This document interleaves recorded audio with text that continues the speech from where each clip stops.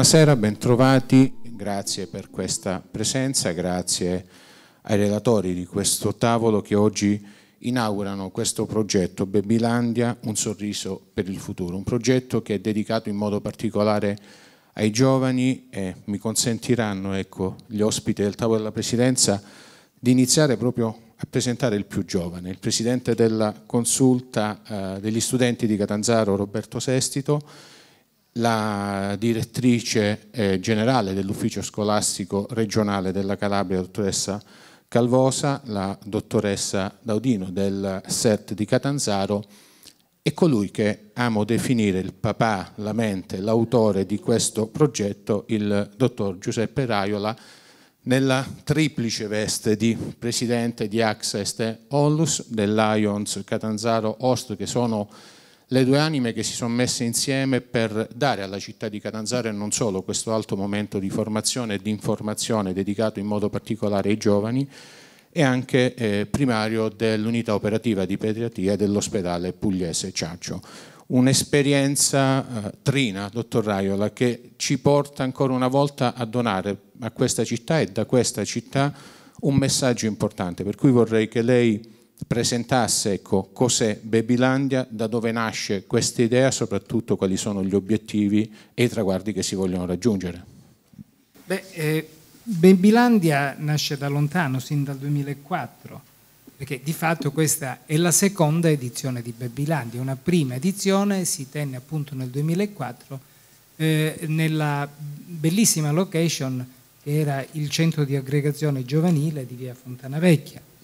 E fu un'esperienza entusiasmante, poi eh, eh, accantonata per, un, per, direi per diversi anni, voi sapete bene che l'associazione è stata eh, impegnata in tantissime altre eh, attività, eh, ma eh, quando fui nominato presidente del Lions ritenni importantissimo riprendere questo progetto che come vedete è una sorta di villaggio, un villaggio dedicato ai giovani in questa bellissima location del Parco della Biodiversità, eh, dove vi sono una serie di stand eh, abitati eh, da quei soggetti, quelle istituzioni che quotidianamente lavorano per il benessere sociale appunto della, eh, quindi eh, a 360 gradi.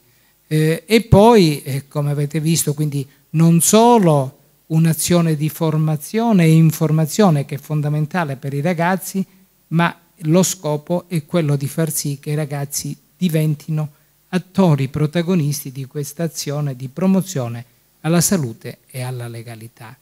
Come già avete avuto modo eh, di vedere questa mattina, sono state poi realizzate e verranno realizzate delle azioni dimostrative si sa bene hanno, sono particolarmente gradite ai giovani perché eh, i giovani amano eh, vedere in pratica come si svolge eh, l'attività di, di questi soggetti, così soprattutto delle forze di polizia, ma vedremo dei pompieri eh, e, di altre, eh, e di altre forze interessate. Eh, che cosa dire? Sicuramente oggi abbiamo dovuto rivoluzionare un pochino quello che è il nostro programma a causa meteorologica, abbiamo provato a cambiare le condizioni meteorologiche, ahimè non ci siamo riusciti. O meglio, in Faremo parte, meglio. in In parte, parte, perché da domani Quindi eh, sostanzialmente stamattina la mattinata sono molto soddisfatto perché è andata molto bene, una bella presenza di giovani ehm, e c'è stato un bellissimo eh, dei momenti importanti, soprattutto il momento forse più importante e significativo è stato quando l'esercito ha fatto andare l'inno italiano e tutti i ragazzi si sono alzati e hanno cantato l'inno italiano. Beh, questo è stato un momento molto bello che mi fa sperare per il futuro. Beh, un momento che va sottolineato non solo per gli argomenti, quindi legalità, protezione civile, prevenzione, formazione, educazione civica, sport e tant'altro, ma anche per il livello interistituzionale, insieme ecco, alle istituzioni scolastiche, quelle delle forze dell'ordine, la magistratura, le associazioni, tanto volontariato che stiamo vedendo qui questa sera e vi ringraziamo per tutto quello che fate, i vertici dell'ufficio scolastico regionale che non solo sono il futuro, ma soprattutto ecco, amiamo definirli il presente e soprattutto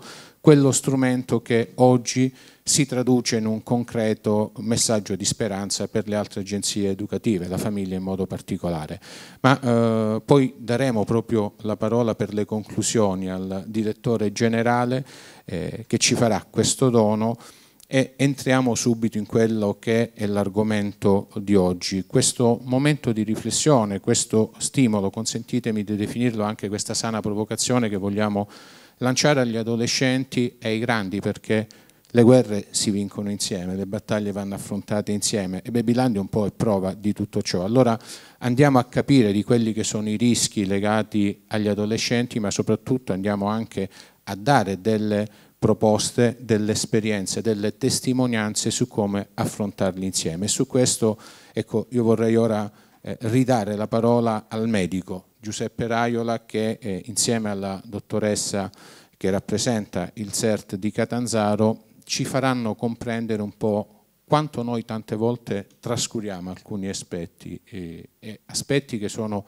fondamentali per la vita, per la salute dei nostri ragazzi e andremo un po' a sviscerarli sotto l'aspetto della prevenzione ma anche sotto l'aspetto acuto, su quell'aspetto, dottore Raiola, che tante volte fa arrivare dei giovanissimi nei vostri reparti e dei giovanissimi eh, che chiaramente diventano un po' anche modello di comunicazione di questa sera per capire come affrontare determinati rischi, ma soprattutto quali sono legati al periodo dell'infanzia e dell'adolescenza. Innanzitutto devo, sento di dover affermare che per fortuna la maggior parte dei ragazzi, che poi sono quelli dei quali solitamente non parliamo, sono i ragazzi che non hanno grossi problemi, sono ragazzi normalissimi, eh, che molti ragazzi impegnati nel sociale, però questi ragazzi purtroppo non fanno notizia. Fanno notizia invece quei ragazzi che, ahimè, eh, assumono questi comportamenti a rischio che sono quelli per i quali abbiamo dovuto ripensare le nostre unità operative, perché voi sapete bene, fino a poco tempo addietro, le pediatrie si interessavano delle malattie classiche dell'età pediatrica. Oggi innanzitutto vi è stata un'estensione dell'età pediatrica al diciottesimo anno. Non solo, poi le malattie croniche, beh, alcune malattie croniche le seguiamo fino al venticinquesimo anno, il cosiddetto periodo della transizione.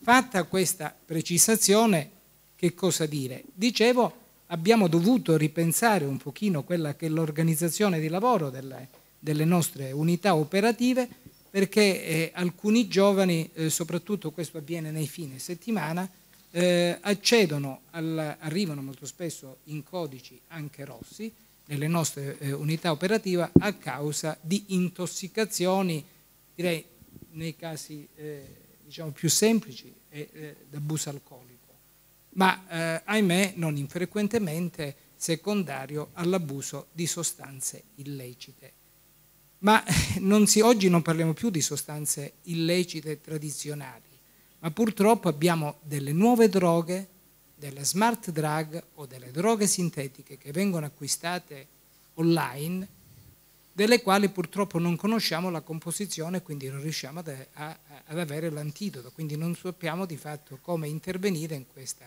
situazione di emergenza. Bisogna dire che oggi abbiamo ben eh, oltre 450 sostanze illecite, si, di queste sintetiche, che possono essere acquistate su internet e purtroppo per oltre il 90% non conosciamo la composizione e quindi, ahimè, non conosciamo la terapia.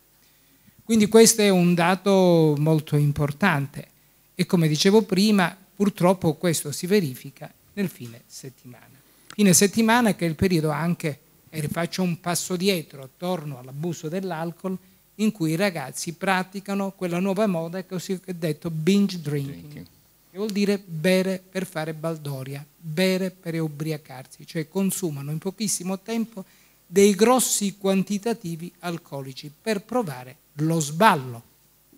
Ma non è finita qui, perché oggi i ragazzi potenziano questo effetto associando eh, le, eh, purtroppo degli antipsicotici come lo Xanax e, e ahimè eh, questo non infrequentemente potrebbe portare anche a delle gravissime conseguenze che potrebbero condurre anche eh, alla perdita della vita.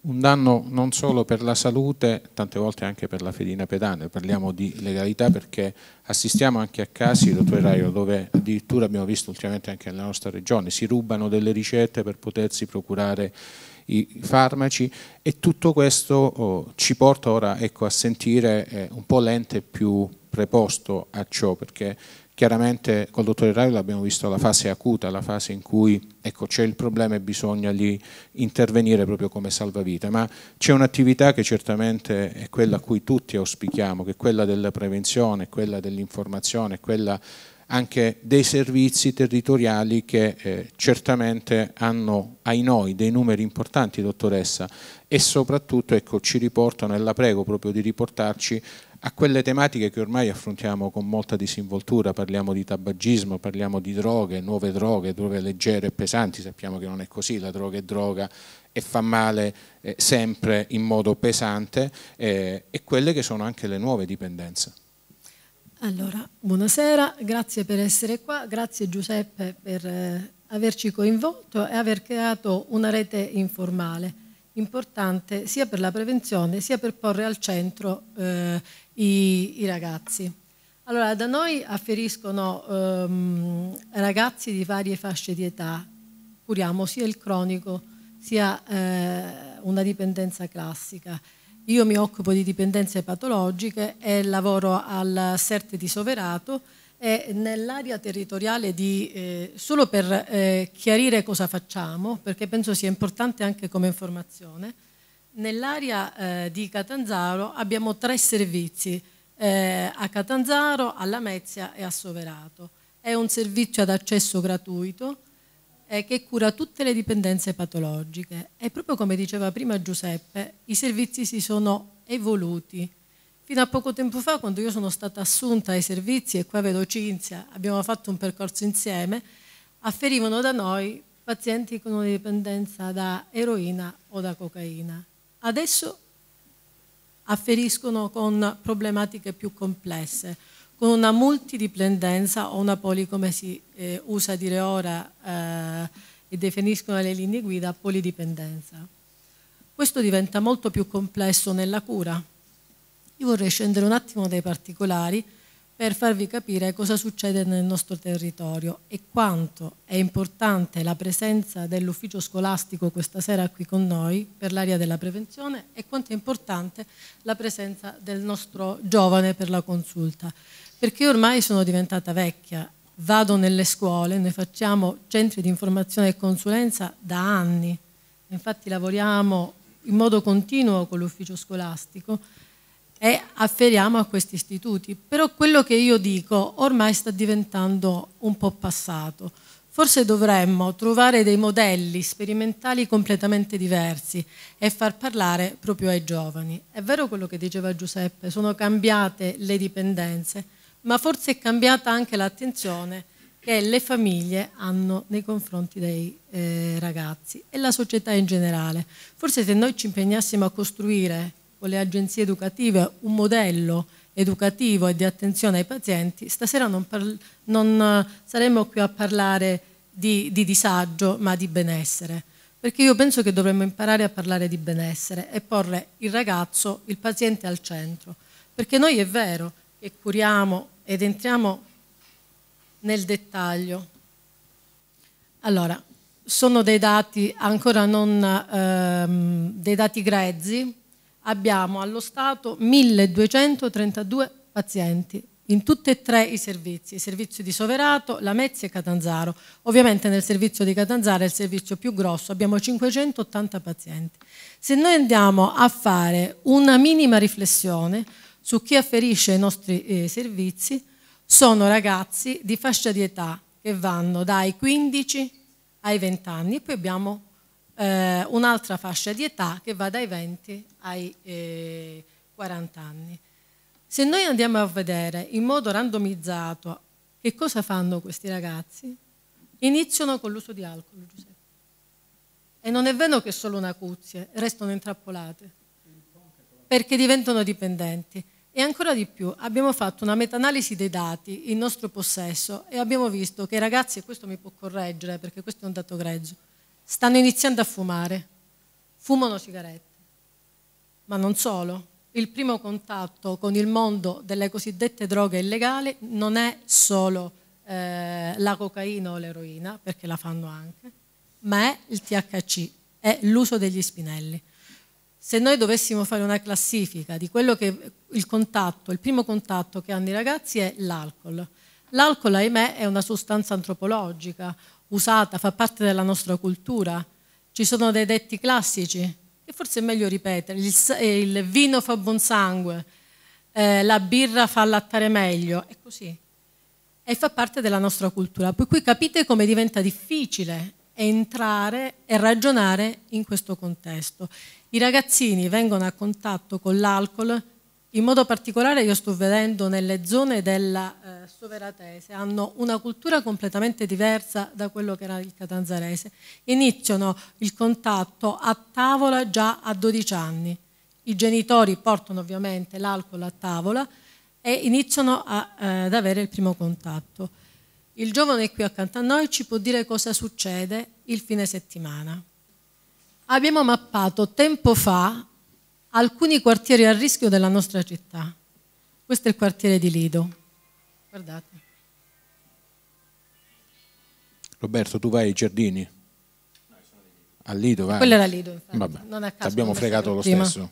C'è anche Lido. Forse è un quartiere più a rischio. Guardate luoghi di rito. Questi sono i giardini di San Leonardo. Eccoli. Quello che diceva Giuseppe prima, non fanno soltanto uso di eh, sostanze legali o illegali, ma l'associano a psicofarmaci. Per cui se noi dovessimo fare una classifica abbiamo uso di THC, uso di alcol, uso di psicofarmaci. Stiamo parlando di sostanze legali. Vedete come la differenza tra sostanze legali ed illegali e restare intrappolati nell'uso e nella dipendenza è, è, è molto sottile. Questo è quello che dicevamo prima. Abbiamo fatto, oltre una mappatura, siamo andati all'interno dei locali da ballo e eh, abbiamo rilevato il tasso alcolemico. Ahimè, il tasso alcolemico al di fuori dei locali da ballo, al, di, mm, al livello dei rave, eccetera, è sempre elevato. Questo incide tantissimo con gli incidenti del sabato sera, con quello che diceva il dottore Raila, nelle acuzie. E sicuramente incide sulla salute pubblica in generale. Per cui qua forse noi ci dovremmo porre una domanda. Scusi. Cosa facciamo noi per i giovani? Come interveniamo? Forse a livello preventivo è sufficiente? Non lo so. Bene, allora possiamo riaccendere le luci. Eh, abbiamo detto che era una puntata, un incontro anche ricca di provocazioni e vorrei, ehm, ecco, eh, ora un po' per nostra deformazione professionale, no? andare al positivo perché di questo vogliamo anche trattare e raggiungere soprattutto chi oggi non è qui, chi è a casa e eh, si avvale degli strumenti di comunicazione sociale eh, nel eh, comprendere ecco, questa responsabilità che non è di nessuno ma è di tutti allo stesso tempo. E io penso Roberto che eh, la parte più sana della società, eh, su questo so che siamo in piena sintonia col dottore Raiola, siete proprio i giovani, ma non solo perché eh, avete davanti ancora un futuro, ma avete le energie, ma perché siete coloro che realmente potete cambiare questo mondo e siete dotati di un'intelligenza che vi protegge da tante cose. Dottoressa Audino, eh, facendo mh, riferimento sull'alcol, sulla cultura antropologica, beh, io dico che prima eravamo molto più vincolati, oggi siete più liberi perché di, del passato tante cose non le guardate più, allora si può anche non guardare questo. Per cui Roberto vorrei che tu mi aiutassi proprio a raggiungere quei tuoi coetanei, quelle persone che invece di coltivare quei rapporti umani che poi sono quelli che ci rendono speciali ognuno per come siamo, senza dover imitare nessuno, senza cercare falsi miti e modelli, perché poi di questo oggi la società ci propina, ecco, far capire loro quanto è importante invece vivere nella congruità dell'età che si ha e soprattutto ecco, fare rete anche in realtà come la consulta, realtà che ti migliorano e ti aiutano e ti, pro, e ti proiettano anche verso un futuro migliore. Sì, buon pomeriggio a tutti. Io porto a voi il saluto delle, della consulta provinciale degli studenti di Catanzaro, coordinata dalla dottoressa Franca Falduto, che saluto e ringrazio. Io ascolto i vostri interventi con uh, grande interesse e mi perdonerete se il mio contributo ha un taglio molto meno tecnico perché mm, proviene dal punto di vista di noi giovani. È quello che vogliamo. Eh, appunto. Ma effettivamente a me preme dire cos'è il disagio per noi giovani, come guardiamo e come interpretiamo tutte quelle figure che cercano di entrare nelle nostre logiche, nelle nostre dinamiche, nelle vesti di chi educa o di chi cerca di capire. Io ho una nonna che è stata per tanti anni una maestra elementare, ha conosciuto il disagio delle campagne del circondario catanzarese e ora, nonostante l'età e la malattia, 83 anni, quando parla dei suoi ex alunni conserva di loro una memoria meticolosissima. Ricorda le esperienze didattiche, ricorda i nomi dei familiari. Mia nonna era parte di un, di un ingranaggio formativo perfetto, quindi eh, dava le coordinate, la famiglia era chiamata a fare la propria parte, intervenendo anche sul, sul piano dell'affettività. Ma i tempi sono cambiati, si dirà, anche se io ricordo un altro episodio che mia nonna racconta sempre, che è quello di eh, essersi, ehm, di essersi rifiutata di affidare una bambina al nonno all'uscita perché aveva sentito odore di alcol, ricevendo così buoni ringraziamenti della mamma che aveva buonissimi motivi per ringraziare senza retorica, noi ragazzi ci accorgiamo subito quando riceviamo un'attenzione seria e consapevole. Eh, credo che, eh, rimanendo sempre nel mio punto di vista da diciassettenne, che mh, mm, molti disagi siano generati proprio dall'indifferenza. Un'indifferenza che è sempre colpevole, che è generata anche dalle più svariate forme di inconsapevolezza, alle volte. Anche se noi studenti distinguiamo subito l'insegnante che ha voglia di leggerci dentro. L'insegnante che ha voglia di leggerci dentro sta attenti a come siamo. C'è anche un'altra cosa che non ci sfugge. Noi non, non distinguiamo l'insegnante autoritario, ma quello coraggioso. Quindi lo prendiamo come punto di riferimento, mai come nemico. Tra l'altro, ehm, così come è credibile soltanto il genitore, il genitore che dà il buon esempio, non colui che ci indica cosa fare. E non c'è percorso di legalità mh, attendibile che non, eh, se non si è prima delineata la credibilità di chi lo pone. Ad esempio, se un genitore infrange costantemente il codice della strada, insegna che la regola è un intralcio verso un vantaggio immediato, sebbene illecito, così come non può pretendere puntualità il docente che arriva tardi in classe. Quindi noi ragazzi abbiamo bisogno di punti di riferimento credibili, che abbiano proprio il coraggio di mettere dei paletti nel nostro percorso di crescita. C'è anche un'altra cosa, io mi soffermo a volte a pensare cosa possa essere la velocità per noi ragazzi, una velocità per ma magari per chi ha tempi di apprendimento diversi. Ognuno di noi ha un suo passato, un suo vissuto, un modo di gestire le situazioni e quindi anche un modo di gestire il disagio. Quindi accettare che esistano delle specificità è un cardine fondamentale di ogni percorso educativo, eh, specialmente formativo. Anche lo spazio di chi è altro da noi, non diverso, ma altro da noi. Quindi eh, accettare appunto che ci siano delle particolarità e accettare che ci sia la differenza. Io ho visitato scuole inglesi e americane dove parlare di inclusione è antico, fa, fa sorridere. Quindi sono quelle società appunto dove la differenza non rappresenta un ostacolo, ma un valore. Delle volte mi capita anche di pensare che combattere non sia la soluzione. A volte basta depotenziare, basta non nutrire. Secondo me la scuola che genera identità, che dona attenzione, depotenzia il bullo. Depotenzia uno di quei, di quei fenomeni capillari che, come il bullismo, ad esempio. Se il gruppo e il singolo hanno delle dinamiche di reciprocità, allora la lotta al disagio diventa possibile.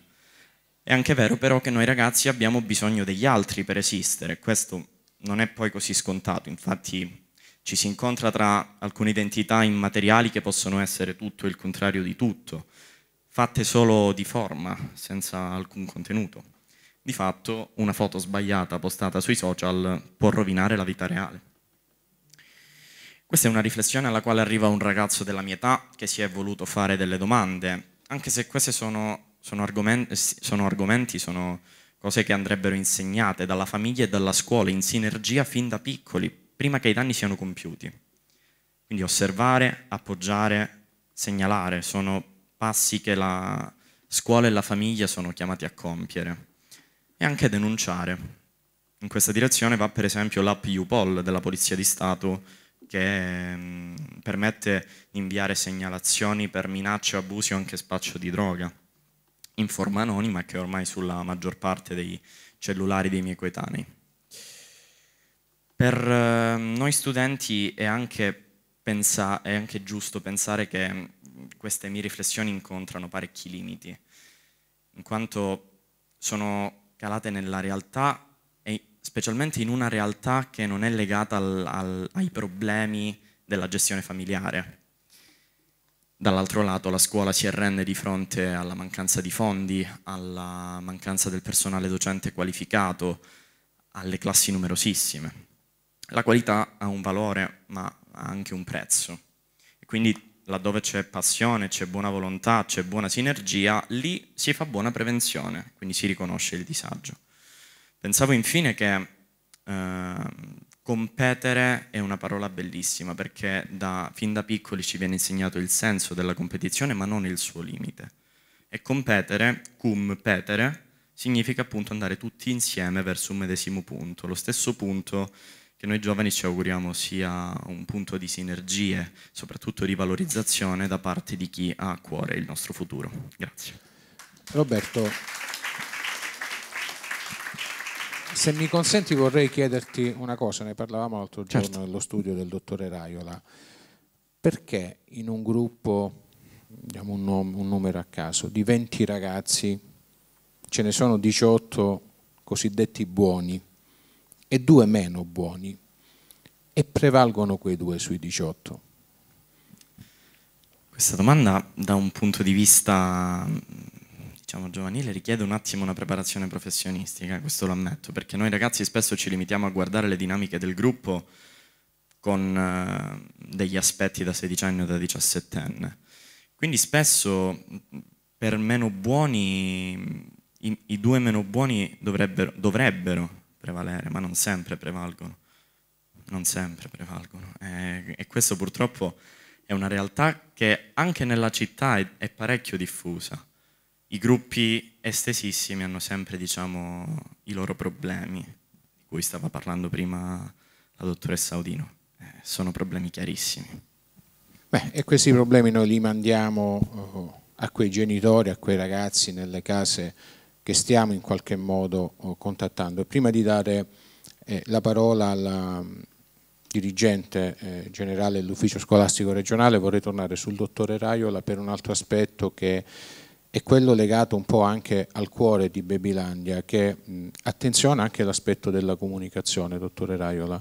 Eh, avevamo invitato anche dei giornalisti, purtroppo eh, le condizioni meteo non ci hanno consentito di averli, però ecco, vorrei ugualmente trattare con lei questo aspetto che tante volte enfatizza, peggiora e soprattutto ecco, fornisce quei modelli che sono assolutamente di evitare anche relativo a quelle notizie che vengono date in modo sbagliato e anche a quei fenomeni che poi ecco, diventano eh, ancora peggio di quello che sono. Pensiamo ai modelli eh, dei vincenti, no? eh, le pubblicità che eh, fanno vedere il vincente pubblicizzare, che so io, la sostanza alcolica o in ogni caso eh, la birra, il vino e quant'altro, il bullismo che eh, sfocia in delinquenza vera e propria, non ci sono altri termini tante volte per definirla, il suo reparto ha affrontato oh, nella, in un recente passato anche eh, un intervento e degli interventi molto molto particolari. Allora ecco un altro desiderio di Babylandia è anche quello di lanciare questo appello a chi fa comunicazione nel saper porre soprattutto nel prestare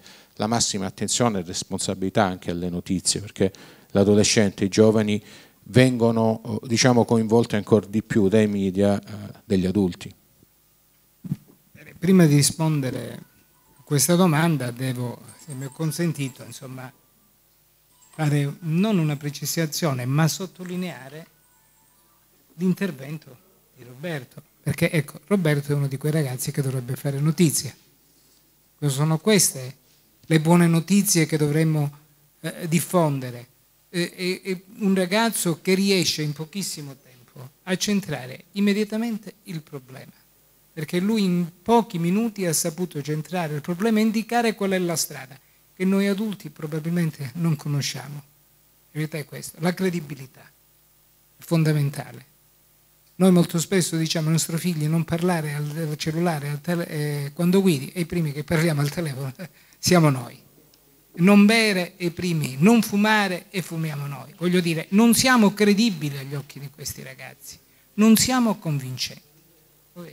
Poi fondamentale, come diceva lui, è l'informazione e la formazione. Ma in questa azione i ragazzi devono essere protagonisti, sono loro gli attori principali. Invece sempre cerchiamo a attori principali, eh, noi, il mondo degli adulti. Quindi mi complimento con Roberto, ma io con Roberto l'ho visto da piccolo, quindi lo conosco, conosco anche eh, la, la, sua famiglia e quindi quali, a quali principi è stato eh, cresciuto. Ma complimenti, questi sono i ragazzi che fanno eh, notizia e questi sono, eh, diciamo, per fortuna il numero eh, maggiore dei, di quelli che non dovrebbero invece fare notizia. Per rispondere alla domanda, e noi siamo stati testimoni sì, di, ad esempio, episodi di bullismo, abbiamo avuto ricoverati delle vittime, però poi su questi episodi si sono costruite delle vere e proprie campagne che hanno fatto sì che aumentasse, cioè il carnefice diventava vittima, ma io dico sempre che lo stesso carnefice è vittima. Perché eh, noi abbiamo avuto ad esempio l'episodio di un, eh, di un, bambino, parlo di un bambino di sei anni, eh, è, una, eh, è, un episodio che si è verificato nella periferia di Catanzaro, nel sud della città. Bene, aveva avuto una discussione, come possono essere quelli, fra bambini eh, con dei bimbi di etnia rom. Allora eh, fu organizzata una vera e propria, direi, rappresaglia di stampo mafioso Tre compagnelli tenevano questo bambino e il quarto bambino dava calci in pancia questo bambino. Chiaramente questo bambino, anche lui, diciamo, educato all'omertà, arrivò in ospedale e arrivò con un dolore addominale, non riuscivamo bene a capire che cosa avesse, quindi il bambino ha rischiato di morire sino a quando non fu sottoposto ad un attacco e non vi dico quello che trovammo a livello addominale, poi il bambino è stato operato d'urgenza e si è salvato. Purtroppo questo episodio ha fatto sì che si criminalizzasse sui media eh, a livello nazionale un gruppo, un gruppo di bambini che poi ha pagato in maniera molto molto cara questo episodio perché ha subito una ulteriore ghettizzazione. Quindi eh, questo è importante anche, eh, eh, dico, la grossa responsabilità dei media nel gestire la notizia. Altre notizie sono tantissime che vengono purtroppo date in pasto ai giornali e purtroppo non vengono gestite in maniera corretta. Questo poi crea disinformazione. Bene, eh, a proposito di informazione, direi di formazione ed educazione, eh, abbiamo l'onore, il piacere questa sera di poter chiudere questo nostro incontro, poi magari ci sono delle domande, penso saranno tutti disponibili ecco, a darvi una risposta, con il direttore dell'ufficio scolastico regionale, che è un fiore all'occhiello, dottoressa, perché eh, ne sono un po' testimone come operatore della comunicazione, sia con la consulta regionale, col tavolo della legalità, questi ragazzi, ecco, ragazzi come Roberto hanno affrontato delle sfide sulla comunicazione importantissime, proprio sul tema della legalità. Ricordo quando all'Ocri ci furono le giornate di Libera, furono loro a intervistare i rappresentanti dello Stato, le più alte cariche, dal Presidente del Senato alla Presidente della Commissione antimafia, a commentare, pensi in diretta, il discorso del Presidente della Repubblica, quindi dimostrando che veramente c'è tanto oh, materiale su cui lavorare qui in Calabria e con i giovani. Vorrei che, oltre a parlarci di loro, lei ci parlasse anche a quelle famiglie, a quell'agenzia educativa che deve capire una volta per tutte che l'educazione dei figli non si delega alla scuola, ma deve essere un qualcosa che viene portato avanti insieme alla scuola, insieme alla Chiesa, perché chiaramente riconosce quest'altra agenzia educativa. E quindi ecco in questa tematica di quali sono i rischi in età evolutiva, come riconoscerli, come prevenirli, io a lei ecco, chiedo di chiudere proprio con quali, secondo lei, secondo il suo punto di osservazione, possono essere anche le azioni certamente sinergiche da mettere in atto. Allora, buonasera a tutti. Io ho da pochissimi giorni assunto l'incarico come nuovo direttore generale dell'ufficio scolastico regionale per la Calabria e, e devo dire ho assunto questo incarico con eh, molta, molta felicità perché malgrado eh, lo stupore di molti nel dirmi vai in Calabria, eh, da um, figlia di un calabrese ho sentito, come posso dire, quasi il dovere di ritornare qui, su questa terra, e di poter dare un contributo um, così, diciamo, spero importante. Oggi è il mio primo giorno di, così, di presentazione eh, e credo che eh, questa giornata forse sia eh, veramente eh, una giornata di particolare importanza. Non si può risolvere sicuramente in eh, pochi momenti in poche ore eh, affrontare e risolvere le tematiche che si vogliono affrontare perché sono tematiche profonde, sono tematiche serie, eh, sono tematiche rispetto alle quali ancora oggi e da tanto ci poniamo il problema, questi problemi e sembra quasi che non si riescano mai a trovare le soluzioni. Io eh, ho ascoltato chiaramente eh, la parte, come posso dire così, eh, tecnica, se vogliamo, delle patologie, dei problemi, dell'uso delle droghe, dell'alcol. E, però mi ha colpito particolarmente, e in questo mi associo al dottore, il discorso di Roberto. Io mi sento veramente, veramente profondamente orgogliosa di avere ragazzi nel nostro territorio così pronti, così preparati, così attenti. E eh, da ex insegnante, io ho insegnato per tanti anni prima ancora di intraprendere la carriera amministrativa, eh, vi posso dire che eh, quello che Roberto ha detto è fondamentale.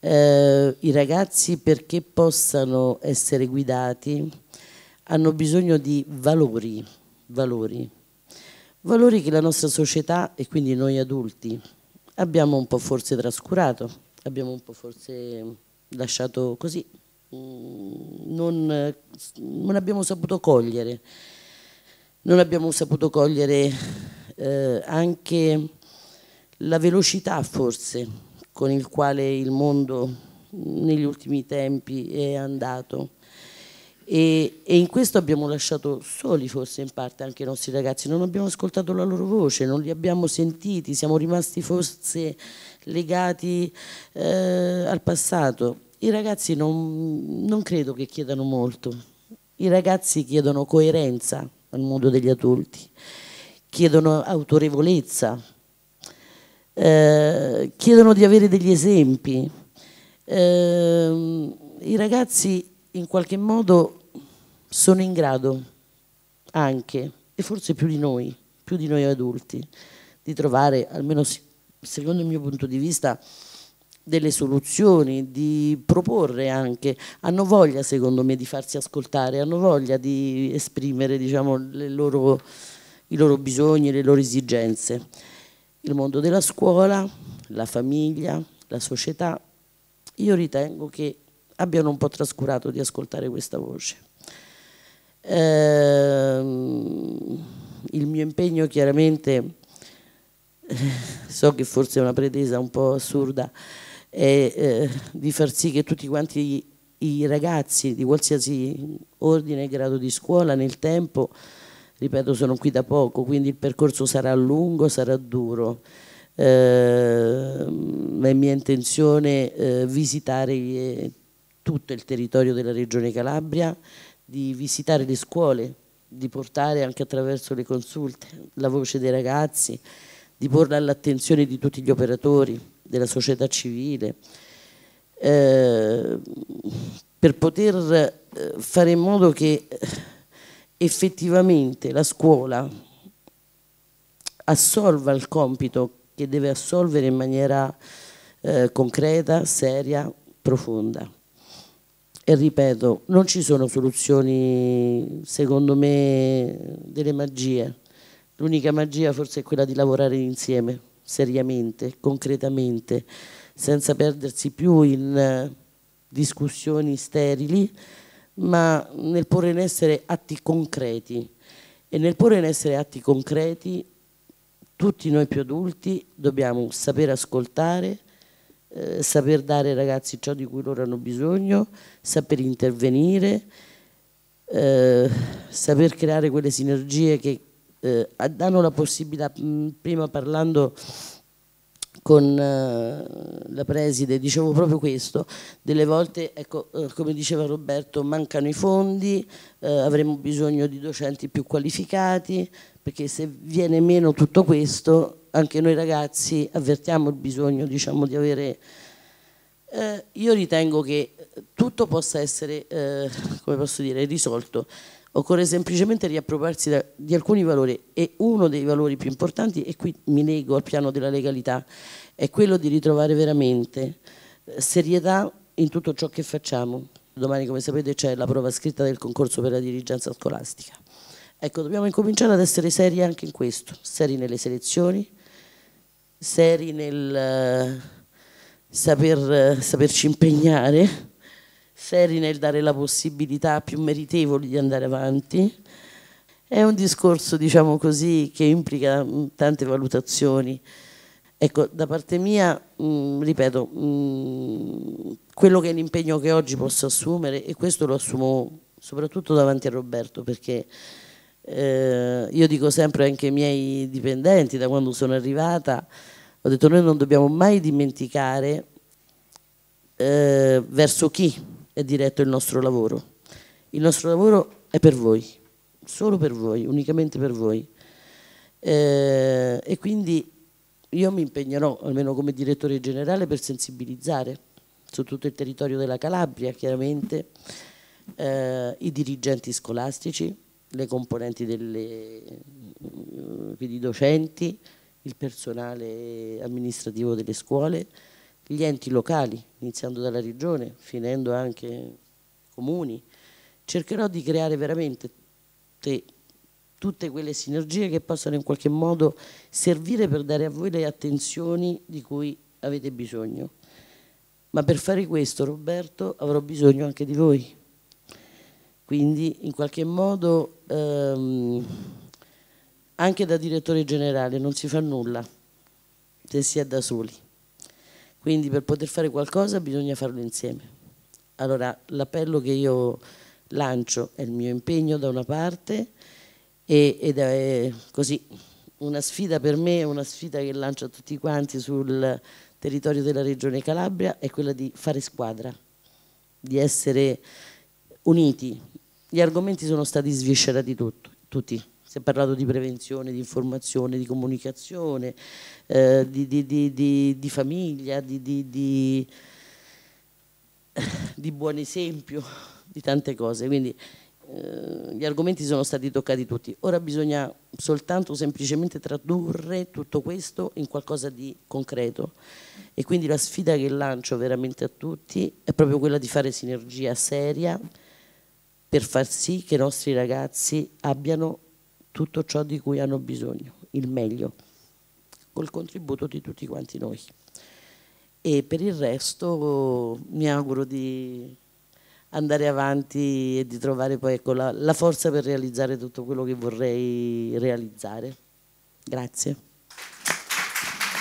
Grazie a lei. Parte di questa forza noi gliela consegniamo già subito perché Pensate che questa sera sono con noi l'Associazione Nazionale dei Vigili del Fuoco, insieme a Canesso, il gruppo AXA Este Ollus, l'ASP con l'Unità Operativa di Promozione alla Salute, l'Azienda Ospedaliera Pugliese Ciaccio, oltre al dottore Raio e la dottoressa Rita Mauro, Vita Ambiente, eh, il Soccorso Alpino Speleologico, la Consulta Studentesca, la Coldiretti, beh, queste sono non solo sigle, ma sono persone, sono realtà che ci aiutano certamente ecco, a trovare questa forza di cui tutti abbiamo bisogno. Se ci sono delle domande, degli interventi, siamo ben lieti di offrirvi la risposta dei nostri esperti. Se siamo stati bravi e abbiamo saziato tutte le curiosità, prego. Sono Domenico Artisani, Associazione Nazionale Vigili del Fuoco. Benissimo. E si è parlato delle dipendenze dalle droghe, dipendenze dall'alcol, eccetera. Ma oggi c'è un'altra dipendenza, la, la, dipendenza dal telefonino. Dai, quindi, e qui è, più che la scuola è qui la famiglia che dovrebbe intervenire, perché è la famiglia che ha per un maggior numero di ore i figli a casa e quindi loro potrebbero controllarli. A parte il fatto che purtroppo tutti i componenti della famiglia fanno la stessa cosa col telefonino. Grazie. Beh, abbiamo affidato non a caso alla dirigente questa, questa cellula della famiglia, ma penso che ritorniamo a quei principi, sempre, la serietà, la testimonianza autentica. Principi. Si ritorna sempre agli stessi principi, era quello che diceva Roberto prima, come si fa uh, uh, a non usare eh, oppure a non rispettare le regole stradali se poi il primo che trasgredisce le regole è il papà e la mamma? E lo stesso discorso vale per, eh, io nel mio saluto, diciamo così, all'inizio dell'anno scolastico, alle scuole, chiaramente per chi l'ha letto, eh, ho parlato proprio della libertà. Eh, e, e, mm, libertà, libertà anche, libertà anche dal, dall'uso eh, eccessivo perché poi non bisogna disconoscere che chiaramente il progresso è sempre qualcosa di positivo, ci mancherebbe, altrimenti saremmo rimasti all'epoca della pietra, quindi bisogna da una parte saper, eh, come posso dire, apprezzare quello che eh, il progresso ci mette a disposizione. L'importante però, come tutte quante le cose, secondo me, è, è saperne fare il buon uso, il giusto uso quindi eh, dovendo parlare alle famiglie, ma la stessa cosa è per la scuola, la stessa cosa è per eh, i ragazzi stessi, è un messaggio che può essere inviato a tutti. Eh, nella vita ci vuole molto equilibrio, in tutte quante le cose. Ci vuole la giusta dose, sempre, in tutto ciò che si fa. Quindi ci vuole la giusta dose nel, nel eh, usare il cellulare, ci vuole la giusta dose, eh, in tutto, l'equilibrio, sicuramente l'equilibrio. E credo che, eh, ripeto, eh, la famiglia sicuramente sì, è importante, però non è soltanto, secondo me, diciamo, riconducibile alla famiglia l'insieme, perché se anche a scuola, se anche i ragazzi stessi tra di loro eh, iniziano anche eh, con il dire ai propri compagni stiamo seguendo la lezione, magari il cellulare puoi metterlo via, non serve. Quindi delle volte è, è anche tra loro stessi che può in qualche modo eh, passare un messaggio di, di um, comportamento corretto. Ecco. L'importante è che eh, l'esempio eh, siamo noi a doverlo dare, noi adulti, tutti insieme. Questo secondo me è un messaggio importante. Insomma, ecco tutto qui. Non solo maestri saccenti, ma testimoni attendibili. Lo diceva un papa, ora diventato santo. Dottore Raiola, grazie. Come andrà avanti Bebilandia in questi giorni? Ci congediamo ecco, con il suo saluto che chiaramente è, è un arrivederci. Beh, Con quale come... arrivederci ci lasciamo, dottore Beh, abbiamo avuto assicurazioni dall'alto che domani sarà buon tempo. Quindi, quindi un contatto diretto, abbiamo avuto buone notizie, quindi adesso chiediamo aiuto proprio all'ufficio regionale per far sì che questo messaggio passi nelle scuole, perché vi sono domani e dopodomani delle attività importantissime che si sarebbero dovute tenere oggi. Le abbiamo volutamente spostate a domani perché ritenevamo che soprattutto i bambini, i bambini con questa pompieropoli eh, non, non, potessero perdere le scuole primarie questo, questo, momento molto importante. E poi vedrete tante altre attività eh, veramente interessanti come la pet therapy, ma tantissime, ora non le ricordo tutte perché ho una certa età. Sono tante, sono tante, non è l'età, sono, sono proprio tante sono loro. veramente tante. Quindi niente, con questa assicurazione che viene dall'alto io vi ringrazio, quindi darei appuntamento a domani. Grazie quindi al dottore Raiola, grazie ai nostri relatori, grazie a Roberto e a tutti i ragazzi. Grazie mille al prossimo incontro.